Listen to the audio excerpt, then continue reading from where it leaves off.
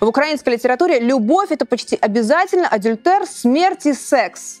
Но нет у нас произведений о платонической любви, о духовной, я вам пишу, чего же более и так далее.